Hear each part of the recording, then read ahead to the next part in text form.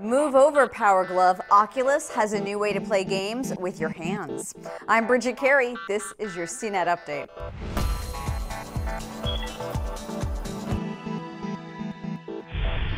Oculus is leveling up the virtual reality experience with a new type of game controller that lets you use your hands to interact with the game. Now, when you look at people using virtual reality headsets, you see a whole bunch of this. People reaching out their hands while they look into a 3D environment. Now that motivated the team at Oculus to create a new type of motion sensing controller called the Oculus Touch. This set of controllers has the usual analog stick, buttons, and trigger, but it also detects finger poses with how you hold it, so you can give a thumbs up or point or wave as part of the game. It takes motion a bit further than our old friend the But it's still a prototype. The actual first Oculus Rift headsets are going to be coming out sometime in the first quarter of next year, and they will come with an Xbox One wireless controller and a little sensor on your stand to detect how you move in the room. But the company still isn't saying what all this is going to cost.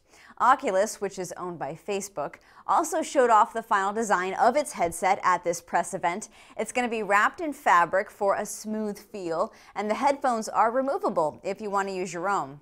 Oculus also teased some upcoming games that were made specifically for virtual reality, taking advantage of the illusion that you're inside of the game. We're going to hear more about that next week during the big E3 Video Game Expo in Los Angeles.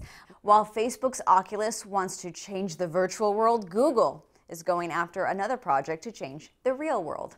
Google announced the launch of something called Sidewalk Labs. It's an independent company that's dedicated to improving life in big cities. That means looking into how to improve things like energy use, cost of living, and transportation, which goes with that whole self-driving cars thing. It's the idea of the perfect Tomorrowland world, minus the jetpacks. Search and advertising are still Google's main revenue stream, bringing in $50 billion annually. So why does Google stretch itself into these far-out projects like self-driving cars, Google Glass, internet via balloons, or like it announced in 2013, to go on a mission to extend the human lifespan? It all comes down to making more money from data.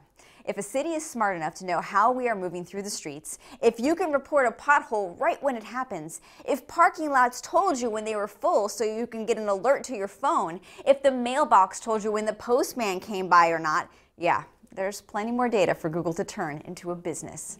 That's it for this Tech News Roundup, and there's more at CNET.com. From our studios in New York, I'm Bridget Carey.